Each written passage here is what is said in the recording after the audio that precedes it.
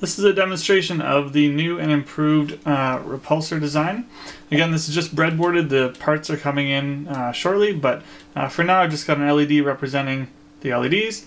Uh, this speaker is actually what's going to be included behind the LED board.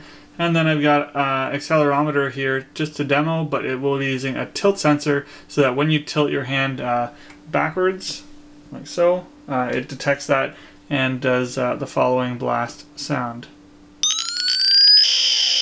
and then you reset to flat to fire again.